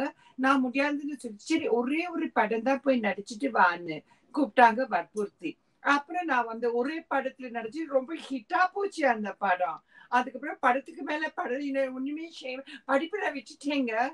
படிப்பு திருப்பி கான்சென்ட்ரேட் பண்ண முடியாது. அதுல இருந்து வந்துட்டேங்க ரொம்ப கான்சர்வேட்டிவ் ஃபேமிலி ஆனா டூ ஆமா. எல்லாம் போடுவேங்க. கிசிங் சீன்லாம். பண்ணுவேங்க. ஆனா ரொம்ப கான்சர்வேட்டிவ் ஃபேமிலி தெரியுமாங்க நாங்கெல்லாம்? என்னம்மா இது? அத பத்தி சொல்லுமா? அத பத்தி தான்க்கா இப்ப நான் கூட தான் வந்து சொல்ல போனா ரொம்ப ஆர்த்தடாக்ஸ் ஃபேமிலி நாங்க முஸ்லிம்ஸ் ஆனா இத பத்தி சொல்லலையே உங்க பேட்டியில. டைரக்ட்லயே நீங்க பேசுறீங்க சொல்றீங்க. ஆனா ஏன் இந்த இத. அதுதான் சொல்ல சும்மாக்கா. பில்டப் தான். இப்போ என்ன கேட்டாங்க நீங்க வந்து ஒரு முஸ்லிம் ஃபேமிலியில பிறந்துட்டு இந்த மாதிரி நடிக்க வந்து நடிக்கிறதே ஒத்துக்க மாட்டாங்க முஸ்லிம் ஃபேமிலியில வந்தா. நீங்க மலையாளம் படங்கள் இந்த மாதிரி கிளாமர் படங்கள் கிளாமர் ரோல்ஸ் பண்ணீங்களேன்னு நான் ஒன்னே ஒண்ணு தான் கேட்பேன் எந்த சித்தப்பா எந்த பெரியப்பா எனக்கு சாப்பாடு போட்டான் என் குடும்பத்தை பாத்துக்கிட்டான். அதனால எனக்கு என் குடும்பம் முக்கியம் எங்க அப்பா அம்மா முக்கியம் என் ஃபேமிலி முக்கியம். அவங்க நல்லா பாத்துக்கிறதுக்காக நான் நடிச்சேன் எனக்கு யார பத்தியும் கவலை கிடையாது. நான் ஆனா அப்படிதான்க்கா. என்னால சொல்ல முடியாது. இப்போ இப்போ எங்க சித்தப்பா பசங்க எல்லாம் கூட எங்க என்னோட சித்தப்பா பொண்ணு அவங்க மாமியார் பக்கம் எல்லாம் இப்ப கூட என் மேல பயங்கரம். ஐயோ ஷக்கிலா ஷக்கிலா ஷக்கிலான்னு. உன் புள்ள என் படம் பார்த்தான்னு எனக்கே தெரியும். அதனால பேசிட்டு போட்டோம். கான்சர்வேட்டிவ் ஃபேமிலினா இப்படி. சினிமால அன்கான்சர்வேட்டிவ்ல போர்ட்ரே பண்ணிட்டு பேட்டி கொடுக்கும் போது நாங்க ரொம்ப ஸ்ட்ரிக்ட் ஃபேமிலி என்னம்மா ஆமா. யாரை ஏமாத்த பாக்குறாங்க அதுதான் சொன்னேன் எல்லாமே ஃபேக்கா இருக்குக்கான்னு ஆனா ஆ- ஆண் நடிகர் வந்து சொல்லுவாங்க நான் ரொம்ப கஷ்டப்பட்டேங்க. நிறைய சான்ஸ் சான்ஸ்னு தவமா கடந்தேங்க. நம்ம சந்திரபாபு மறந்து போன சந்திரபாபு பம்பர கண்ணாலே காதல். அவர் வந்து காமிக் சொசைட்டி பண்ணாரு ஸ்டூடியோ முன்னாடி. மருந்து. குடிச்சிட்டு அங்க சாவு கடந்தாங்க குடுக்காட்டி நான் செத்தே போயிருவேன்னு சொல்லி அவங்களுக்கு சான்ஸ் கிடைச்சிச்சு. நிறைய ஆண் மேல் ஆக்டர் ஆக்ட்ரஸ் வந்து ரொம்ப கஷ்டப்பட்டு தான் வந்தேன். கெஞ்சினேன் காடி கழுவுனேன் அவங்களுக்கு சமைய அவங்க கிச்சன் எல்லாம் மரக்கறி எல்லாம் வெட்டி தந்தேன். ஆனா பெண்கள் வந்து ஒத்துக்கவே மாட்டேங்கிறாங்க. அந்த ஈகோவா ஈகோ ஒரு பக்கம் ஒரு பக்கம் நம்ம ஒத்துக்கிட்டோம்னு வைங்களேன். எதை ஒத்துக்கிறது?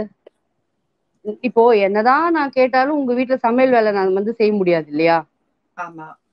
ஒரு ஆம்பளை சொல்லிடலாம் நான் வந்து காடி கழுவுனேன் அதுக்கப்புறம் அப்படிலாம் கஷ்டப்பட்டேன்னு ஒரு ஆம்பளை சொல்லிடலாம். பெண்கள் அதெல்லாம் ஒத்துக்க முடியாது இல்லையா. சோ அதனால சொல்ல மாட்டாங்கன்னு நினைக்கிறேன். ஆக்சுவலி கிருபாம்மா இப்ப இப்ப இருக்கிற வீடு வந்து அவரோட வீடுக்கா? அவங்க. வாங்குனாங்க. ம். அந்த காலத்திலேயே வாங்குனாங்க அவர் விற்கும் போது மம்மி. விற்கும் போது ஆனா அந்த அவங்க அந்த நடிகைகள் இந்த மாதிரி பேட்டி கொடுக்கும் போது கேக்குற நேர்கள் அவங்களே யோசிக்க மாட்டாங்களா? என்னமா கான்சர்வேட்டிவ்னு சொல்றீங்க? ஆள் பாதி ஆடை பாதியா வந்து நிக்கிறீங்க? யோசிப்பாங்கக்கா. இப்ப பாருங்க இப்ப பாதி சொல்றது இல்ல அந்த மாதிரி எல்லாம் இப்ப. ஓரளவுக்கு ஓப்பனாவே இருக்கு. ஏன் சொல்லுங்க? சோஷியல் மீடியா ரொம்ப ஜாஸ்தியா இருக்கிறதால உடனே கமெண்ட்ஸ்ல போட்டுருவான். நீங்க சொல்ற டைம் வந்து டிவில இன்டர்வியூ சன் டிவி அந்த டிவி இந்த டிவில இன்டர்வியூ வர டைம்ல அப்படி பேசிட்டு இருந்தாங்க. இப்பெல்லாம் வந்து இந்த மாதிரி எல்லாம் பேசுனீங்கன்னா யார் பருப்பும் வேகாது. ஆமா? உடனே அவங்க கமெண்ட்ல போட்டுறான். ஏமா ஏமா அடங்கு அடங்குன்னு. அடங்கு அடங்கு. எல்லாம் நவுறு நவுறு காசு வரல அப்படின்னுடுவாங்க கிண்டலாம் போல இருக்குடி உன்னோட. அவ்வளோ காமெடியா இருக்கு. நேச்சுரலா இருக்குமா. அப்புறம் இன்னொன்னு வந்து சினிமாலயும் கேட்டுப்பட்டுதான் அட்ஜஸ்ட்மெண்ட் ஆமா. ஏன்னா நம்ம நடிகை ஸ்ரீ ரெட்டி வந்து I really respect and I hope one day I will bring her to my show you know I would like to bring her to my show ஏன்னா அந்த கட்ஸ் ஒரு பெண் வந்து துணிச்சலா எனக்கு இதான் தான் நடந்துச்சு. நீ சொன்ன சான்ஸ் கொடுக்குறேன் நீ இதான் தான் பண்ணியிருக்கேன்னு பெரிய பெரிய லிஸ்டர்ஸ் எல்லாம் கிளி கிளின்னு கிழிச்சிட்டா. Hats off to Sri Reddy உங்க நீங்க இந்த இன்டர்வியூ பார்த்தாக்கா நிச்சயமா ஐ வுட் லவ் டு அக்கா அவ அவகிட்ட நான் ஆல்ரெடி சொல்லிட்டேன்க்கா. நாளைக்கு பேசுவாக்கா உங்ககிட்ட அவ. உங்க நம்பர் எல்லாம் கொடுத்துட்டேன் அக்கா நான் ஆனா ஒண்ணு சொல்றேன்க்கா. அவ என் தங்கச்சி தான் நான் தப்பு சொல்லல. என் தங்கச்சி தான் நான் அவளை விட்டு கொடுக்க முடியாது. ஆனா ஒரு விஷயம் எனக்கு என்ன பிடிக்கலன்னா ஆஹ் ஒரு வாட்டி ஏமாறலாம். ரெண்டு வாட்டி ஏமாறலாம். நீ லிஸ்ட் எடுக்க முடியாதுல நான் ஏமாந்துட்டேன்னு. சோ அங்க ஏதோ எனக்கு அது அஹ், தப்பா பட்டது. நெக்ஸ்ட் நம்ம ஏமாந்துட்டோன்றதே பெண்கள் வந்து சொல்லிக்கிறதே தப்பு. செருப்ப கைடி அடிச்சுட்டு வரணும். ஒரு வாட்டி ஏமாந்த நூத்தி ஐம்பது வாட்டி ஏமாந்தன்றது வந்து எனக்கு அது பெருசா அவ ஏன் அப்படி பண்ணான்னு எனக்கு புரியலக்கா. அது பண்ணிருக்க கூடாதோன்னு எனக்கு தோணுச்சு. சகி இது வந்து உங்க அபிப்பிராயம். இது வந்து உங்களை நான் பேட்டி எடுக்கிறேன். ஆனா இதுல வந்து அக்கா என் கருத்தை சொல்லிக்கலாமாமா ஆ சொல்லுங்கக்கா. அதாவது அவங்க ஏம் வந்து ஒரு பிலிம் ஆக்ட்ரஸா ஆகணும். So she is willing to pay whatever price for it okay சரி. நான் இப்படி செஞ்சா அவனுக்கு ரோல் கொடுப்பேன்னு சொன்னோன்னே அவ பண்ணி அவங்க அவங்க வாய்க்குள்ளேயே வடை சுட்டு அவளை விட்டுட்டாங்க அது ஆமாமா நீங்க கமிட் பண்ணிக்கிற உங்க கமிட்மெண்ட்டை நீங்க பூர்த்தி செய்யணும். மேற்கொண்டு அட்லீஸ்ட் இந்த ஸ்ரீரெட்டி வந்து இந்த மாதிரி சொல்லினதுக்கு வந்து அட்லீஸ்ட் ஒரு விழிப்புணர்ச்சி. மத்த பெண்கள் இன்னசென்ட் கேர்ள்ஸ் வந்து ஓகே இந்த ஆசாமி இந்த மாதிரி அந்த ஆசாமி அந்த மாதிரி. சோ நாளைக்கு இந்த மாதிரி செய்யற ஆசாமிங்க உஷாரா இருப்பாங்க. கவனம்ப்பா. இல்ல கரெக்ட்க்கா இப்ப நீங்க இப்ப நீங்க சொன்ன உடனேதான் எனக்கும் அது ஸ்ட்ரைக் ஆகுது. என்னால வந்து என்னால வந்து ஒருத்தரை என்னோட பேட்டியில என்னை பத்தி நான் சொல்லி ஒருத்தவங்களை திருத்த முடியும்னும் ப- காப்பாத்த முடியும்னும் போது அவ சொல்ற பாயிண்ட்ல இருந்து அவ மத்தவங்களை காப்பாத்தி தான் இருக்கா. இப்ப நீங்க சொல்லும் போதுதான் எனக்கு அது புரியுது. பட் எனக்கு என்னன்னா ஒன்னோ ரெண்டோட ஸ்டாப் பண்ணி இருக்கலாம் இத்தனை பேரை சொல்றதால நம்ம நம்மளோட கேரக்டர் அசாசினேட் பண்ணிக்கிற மாதிரி எனக்கு தோணுச்சு. இதே சொல்ற மக்கள் தான் கோயில் கட்டி கும்ப விஷயம் பண்றாங்க ஆக்ட்ரஸ்க்கு பாலெல்லாம் ஊத்துறாங்க கட் அவுட்டுக்கு சோ அதெல்லாம் அவர் determination I want to be famous is the price I do pay I willing to pay for the price open about it at least அவங்க ஆனஸ்டிக்கு வந்து ஹேட்ஸ் ஆஃப் கண்டிப்பாக்கா. இல்லாட்டி நான் வந்து ரொம்ப கான்சர்வேட்டிவ் ஃபேமிலி இந்த மாதிரிலாம் விடாது. அப்புறம் டூ பீஸ வந்து இறங்கி போஸ்ட் கொடுக்குறாளுங்க. என்னை. பாரு என் பாருன்னு. So, அதெல்லாம் இருக்கும்போது I really respect so much secondly நம்ம இப்ப உங்க ப்ரோக்ராம் உங்க இன்டர்வியூ பார்த்தேன். வனிதா விஜயகுமாரோட. ரொம்ப நல்லா. இருந்துச்சு. என்டர்டெய்னிங்கா இருந்துச்சு. நேர்களே உங்களால முடிஞ்ச வனிதா விஜயகுமாரோடைய என்ன அந்த யூடியூபோட டைட்டில் வனிதா தர்பார். தர்பார்.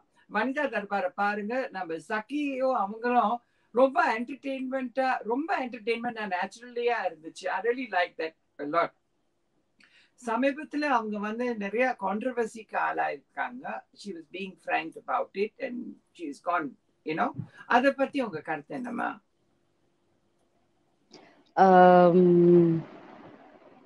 என்னக்கா சொல்றது? அவளும் பாவம் நம்புறா. லைஃப் வேணும்னு நினைப்பா.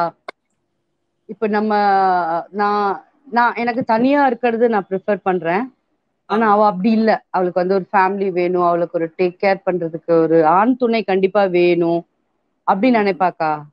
அவ பே பேசுறதுதான் அவ அவ்வளவு போல்ட் எல்லாம். ஆனா ரொம்ப ரொம்ப குழந்தை மாதிரிக்கா. குழந்தையதான் அவளை அவளை தெரிஞ்சவங்க வந்து அவளை ஈஸியா ஹேண்டில் பண்ணலாம். ஆனா தெரியாதவங்க அவளை பார்த்த உடனே ஒரு புலி ஒரு சிங்கம் மாதிரி இருப்பா பாக்குறதுக்கு பட் குழந்தைதான்க்கா அவ. சோ அவ எல்லா வாட்டியும் அவளோட டிசிஷன்ஸ் தப்பா போகுது. நான் நிஜமா கடவுளை வேண்டுறேன் அந்த மாதிரி தப்பான டிசிஷன்ஸ் இனிமே எடுக்க கூடாதுன்னு அக்கா. சாரிமா அதாவது தப்பான டிசிஷன் இது தப்பான டிசிஷன் தெரிஞ்சு நாங்க செய்ய மாட்டோம். ஒரு டிசிஷன் எல்லா டிசிஷன் எடுத்ததுக்கு அப்புறமா தப்பாயிடுது. தப்பாயிடுது. இல்லக்கா அது என்னன்னா இப்போ இப்ப நான் உங்களை அக்கான்னு கூப்பிடுறேன். நான் இது பண்ணலான்னு இருக்கேன்கான்னு ஒரு ஒருத்- ஒருத்தர் மேல நம்பிக்கை வச்சு கேட்கணும். அவகிட்ட அது ஒரு ஒரு பழக்கம் தான் இல்ல. அவ எடுக்கிறது தான் முடிவு. அது தப்போ ரைட்டோ. அப்படி அவ. ஆனா நான் அப்படி கிடையாது. நான் இப்போ அம்மா கிட்ட கேட்பேன் உங்ககிட்ட கேட்பேன். அக்கா இது மாதிரி பண்ணலாமாக்கா அப்படின்னுட்டு அப்புறம் நீங்க சொல்றது ஏத்துக்கணும்லக்கா பெரியவங்க என்னை விட கண்டிப்பா உங்களுக்கு எக்ஸ்பீரியன்ஸ் இருக்கும். இல்ல ஷக்கி இது அப்படி வேணாம் இப்படி பண்ணு அப்படின்னு சொல்லுவீங்க. அதுல யார் நல்லது? உங்க டைம் வேஸ்ட் பண்ணி நான் உங்ககிட்ட அதை ஒன் ஹவர் எக்ஸ்பிளைன் பண்ணி நீங்க ஒன் ஹவர் என்கிட்ட பேசுறதால. யாருக்கு யூஸ் எனக்கு யூஸ் உங்களுக்கு பெருசா அது யூஸ் இல்ல. அந்த மாதிரி சோ அந்த மாதிரி அவ கொஞ்சம் யார் பேச்சாவது ஒருத்தரை நம்பி கேட்டானா. அவளுக்கு இந்த அளவுக்கு பாதிப்பு இருந்திருக்காதோன்னு எனக்கு தோணுதுக்கா. Really sad though but you know பெண்கள் வந்து இப்ப வந்து நிறைய நாங்க ஒரு காலத்துல வந்து கல்லானாலும் கடமை பொண்ணானாலும் புருஷன். ஆனா இந்த காலத்துல பெண்கள் அந்த மாதிரி இல்ல. அத பத்தி உங்க அபிப்பிராயம் என்னமா இல்லைன்னா இப்ப நிறைய சாய்ஸஸ் இருக்குக்கா. வேலை வேலை வாய்ப்பு நிறைய இருக்கு. அப்ப வந்து எதுவுமே இல்ல படிப்பு இல்ல. அப்போ சாய்ஸஸ் எதுவுமே இல்லைல்ல. அந்த புருஷனோட தான் வாழ்ந்தாகணும்னு. இன்னைக்கு வந்து ஒரு புருஷன் சரியில்லை அவன் குடிக்காரனா விட்டுட்டு அவங்க ஒரு எக்ஸ்போர்ட்டுக்கு வேலைக்கு போறாங்க துணிக்கடைங்களுக்கு வேலைக்கு போறாங்க. சோ சாய்ஸஸ் இருக்கிறதால பெண்கள் தைரியமா இருக்காங்கன்னு நான் நினைக்கிறேன்க்கா. Choices. ம். சாய்ஸஸ்னா நாட் இந்த அதோ வே லைக் இவன் இல்லைனா இன்னொருத்தன் அப்படின்றது சொல்லல. வேலை வாய்ப்பு நிறைய இருக்கு. அப்ப வந்து நீங்க மேக்சிமம் சமையல் சொல்லுங்கக்கா. சாரி சாரி சொல்லுமா சொல்லுமா. இல்லக்கா அந்த காலத்துல மேக்சிமம் புருஷன் விட்டுட்டா என்ன பண்ணுவாங்க? சமையல் வேலைக்கு போவாங்க. இல்ல வீட்டு. வேலைக்கு போவாங்க. இன்னைக்கு மால்ல இருந்து தியேட்டர்ல இருந்து பெட்ரோல் பம்ப்ல இருந்து எல்லா இடத்துலயும் பெண்கள் வேலை செய்யறாங்க சோ தைரியம் ஓரளவுக்கு வந்திருக்குன்னு நான் நினைக்கிறேன்க்கா வெரி குட் சரி சகிலா சகி முதல்ல நீங்க அக்காட்டி சொன்னீங்க. நான் சொல்லல இவன் இல்லாட்டி இன்னொருத்தன். சரி கட்டின புருஷன் சரியில்லாட்டி டைவர்ஸ் பண்ணிட்டு இன்னொரு வாழ்க்கை துணை தேடுறதுல என்னமா தப்பு? இல்ல தப்பு தப்புன்னு நான் சொல்லவே இல்லைங்களேக்கா. Okay okay okay. இல்ல இல்ல நான் என்ன சொல்ல வந்தேன்னா. சாய்ஸஸ் சொன்னது வந்து அந்த விஷயத்துல சொல்லல. பட். டிவோர்ஸ் பண்ணிட்டு இன்னொரு வாழ்க்கை. ஏன்னா டிவோர்ஸ் பண்ணதுக்கு அப்புறம் அவன் ஒழுங்கா தான் இருப்பான் என்ன இருக்கு? அதானே. அது ஆம்பளைங்க மட்டும் ஒண்ணு இல்ல ஒண்ணு இல்ல ஒண்ணு இல்ல. ஒருத்தங்க லவ் பண்ணுவாங்க ஒருத்தங்கள கல்யாணம் பண்ணுவாங்க ஒருத்தங்கள டிவோர்ஸ் பண்ணுவாங்க இன்னொருத்தவங்கள வச்சுப்பாங்க. இப்படி போகும். நம்ம அந்த அளவுக்குலாம் இல்லையே. நான் அப்படி சொல்லவே இல்லை. நீ கண்டிப்பா டிவோர்ஸ் பண்ணினா உனக்கு ஏத்த ஒரு தப்பு பண்ணியா? இவன் சரியில்லை இந்த மாதிரி இன்னொருத்தன் இருக்க கூடாதுன்னு சொல்லிட்டு ஒரு நல்ல மனுஷனா பார்த்து கல்யாணம் பண்ணிக்கிறது தப்பே கிடையாதுக்கா. இந்த காலத்து பெண்களுக்கு வந்து நீங்க விமன் எம்பவர்மெண்ட் நீங்க நிறைய பெண்கள் உரிமைக்காக குரல்லாம் கொடுத்துருக்கீங்க. இந்த நம்ம நேர்கள் பெண்களுக்கு நீங்க என்ன அட்வைஸ் கொடுக்குறீங்க? நான் கொடுக்குற அட்வைஸ் உமன் எம்பவர்மெண்ட்னு அப்படின்னு நம்ம ஏங்கா அதை முதல்ல எடுத்துக்கணும்? ஃபர்ஸ்ட் ஆஃப் ஆல் நம்ம ஏங்கா உரிமைய கேட்கணும்? நம்ம உரிமையை எடுத்துக்கணும்க்கா? யாருகிட்ட கேக்குறது? ப்ளீஸ் நான் வந்து உனக்கு ஈக்குவல் அது வந்து கேட்க கூடாதுக்கா நான் உனக்கு ஈக்குவல் நம்ம சொல்லணும். எனக்கு வந்து ஏன் ஏன் பைலட்டா இருக்காங்க? எல்லா வேலையும் ஆம்பளைங்க செய்யறது செய்யறாங்க நம்மளால முடியும். நம்மளால ஆம்பளைங்க செய்யறது கூட செய்ய முடியும். ஆனா ஆமா. ஆம்பளைங்களால புள்ள பெத்துக்க முடியாது. முடியாது. முடியாது. சோ நம்ம அதாவது நான் இது ஒரு திமிர்ல சொல்லலக்கா. என்ன இருந்தாலும் ஒரு ஆண் துணை வேணும்க்கா. ஒரு எல்லாத்துக்குமே. நான் எப்பவுமே சொல்ல மாட்டேன். நம்ம வந்து ஒரு படி ஜாஸ்தி தான் அப்படிலாம் எதுவும் இல்லக்கா. ஒரு ஒரு அரவணைப்பு ஒரு ஷோல்டர் டு கிரை ஒரு ஒரு டக்குன்னு ஆஹ், சரி. பிரசவ வழியில துடிக்கிற ஒரு பொண்ணை இன்னொரு பொம்பளை அந்த வீட்டுல இருந்தா ஓகே இல்லைன்னா பக்கத்துல அக்கத்துல இருக்க ஆண்மகன் தானே கூட்டிட்டு போறான். நிச்சயமா. சோ நம்ம ஏன்க்கா இப்ப பாரு எம்பவர்மெண்ட் பத்தி பேசி நான் உனக்கு ஈக்குவல் அப்படிலாம் இல்ல. நம்ம நம்மளோட உரிமை எடுத்துக்கிறோம். அவங்க அவங்க உரிமை எடுத்துக்கிறாங்க. ஒரு வீட்டுல இப்ப வந்து புருஷனும் சம்பாதிக்கிறாங்க பெண் பொண்டாட்டியும் சம்பாதிக்கிறாங்க. ஈக்குவலா குழந்தைய படிக்க வைக்கிறாங்க. சோ இப்ப இதுவே அத பத்தி எல்லாம் பேசுறதெல்லாம் முடிஞ்சு போச்சுக்கா அந்த காலம் எல்லாம் எனக்கு தெரிஞ்சு இப்ப எல்லாமே ஈக்குவலா தான் நடந்துட்டு இருக்கு. இப்ப இந்த இந்த கருத்து சொன்னீங்களே உங்க கிராஃப பார்த்தேன் முதல் ஸ்டார்ட் பண்ணும்போது பெண்கள் நேர்கள் நிறைய இருந்தாங்க உங்களுக்கு ஃபேன்ஸ் இப்ப வந்து திடீர்னு ஷூட்டா போயிடுச்சு. ஆண்கள் தான் ரொம்ப இப்ப இருக்காங்க. ஒரு தௌசண்ட் டைம்ஸ் நிறைய ஆண்கள் ஃபேன்ஸ் நீங்க சம்பாதிச்சிட்டீங்க இந்த கருத்து கண்டி கண்டிப்பாங்கக்கா கண்டிப்பா ஆணால குழந்தை பெத்துக்க முடியாது. ஆனா கண்டிப்பா ஆண் இல்லாம பெண்ணால குழந்தை பெத்துக்க முடியாது. நிச்சயமா நிச்சயமா. ஃபேன்டாஸ்டிக் சரிங்களா? சோ அதுவும் இருக்கு. பிளஸ் வந்து ஆண் துணை கண்டிப்பா வேணும்க்கா நான் வந்து எங்க எங்க அப்பா உயிரோட இருக்கிற வரைக்கும் நான் செம்ம டெரரு அப்போ அப்பா இறந்ததுக்கு அப்புறம் நான் தானே பயங்கரமா இருந்திருக்கணும்? நான் அப்படியே ஆஃப் ஆயிட்டேன். ஐயோ டாடி இல்லையேன்னு. அந்த மாதிரி இருக்குக்கா ஆக்சுவலி ஆண்கள் இல்லாம நான் இல்லக்கா என் படம் பார்த்ததே அவங்க தானே.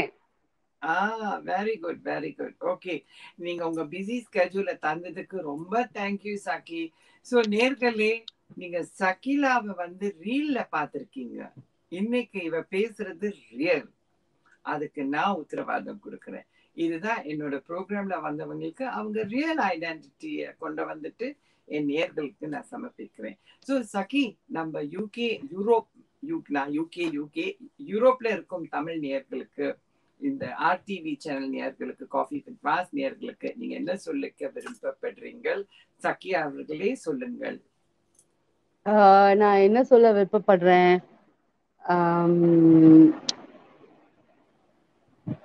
எல்லாரும் நீங்க நீங்களாவே இருங்க. முடிஞ்சா மத்தவங்களுக்கு ஹெல்ப் பண்ண பாருங்க. ஆஹ் ஒருத்தர் ஒருத்தரை மதிங்க. பெரியவங்கள அப்பா அம்மாவை முதியோர் இல்லத்துல மட்டும் விட்டுறாதீங்க. அவ்வளவுதான்க்கா. அக்கா நீங்க கும்பிடுறீங்க. எனக்கு வந்து ஒரு போன்ல ஒரு கையில போன் இருக்கிறதால என்னால கையெடுத்து கும்பிட முடியல. எனக்கு கஷ்டமா இருக்கு. நீங்க நாலு வாட்டி அப்படி கும்பிடாதீங்க. நீங்க முதல்ல கும்பிடாதீங்க. இல்ல நான் வந்து நீங்க சொன்ன கருத்துக்கு நான் கும்பிடுறேன். அதாவது நான் நினைச்சு கூட பார்க்கல. நீங்க சொன்னீங்க இது செய்யுங்க அது செய்யுங்கன்னு. பெத்த தாய் தகப்பங்களை முதியோர் இல்லத்துல விடாதீங்க. இதுதான் இந்த real Shakeela not the real Shakeela திருப்ப திருப்ப நான் இதை சொல்லிட்டு வரேன். ஸோ ஒருத்தங்களை பார்த்து டைப் காஸ்ட் தயவு செய்து பண்ணிடாதீங்க அவங்களோட பழகுன பிறகுதான் அவங்க யாருன்னு உங்களுக்கு தெரியாது. So don't judge a book பைஸ்காவை ஏசுநாதரே சொல்லியிருக்காரு Shakeela. Judge and you shall be judged ஏன்னா ஒரு மத்தவங்கள பார்த்து ஜட்ஜ் பண்ணும்போது நாங்க பகவான் கிட்ட போகும்போது பகவான் எங்களை ஜட்ஜ் பண்ணுவேன் ஏன்னா நீங்க மத்தவங்களே ஜட்ஜ் பண்ணிட்டு இருக்கீங்க. இப்ப என்கிட்ட நான் உன்னை ஜட்ஜ் பண்றேன். Thank you Shakeela thank you very thank you so மச்க்கா love யூக்கா உன் அன்புக்கு நான் தலை வணங்குறேன் அம்மா. என்னங்களே நாங்க ஒரு நபரை பார்த்து நாங்க டைப் காஸ்ட் பண்ணிடுவோம்.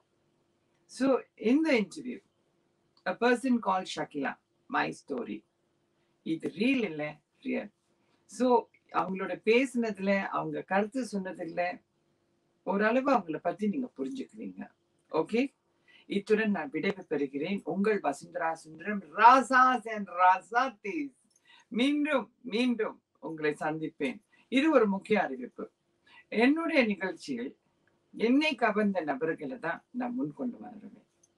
அவங்க கிட்ட இருந்து என்னென்ன நான் பார்த்து நான் கத்துக்கிட்டேன். இதெல்லாம் நான் கத்துக்கிட்டது உங்களுக்கு நான் சமர்ப்பிக்கணும்னு இந்த காஃபி வித் வாஸ் ப்ரோக்ராம் மூலியமா நான் ரொம்ப ஆசைப்படுறேன். உங்க ஆதரவுக்கு உங்க சப்போர்ட்டுக்கு ஃபேண்டாஸ்டிக் கமெண்ட்ஸ்க்கு எந்த பேட் கமெண்டும் வரல. கடல் நன்றி நன்றி நன்றி.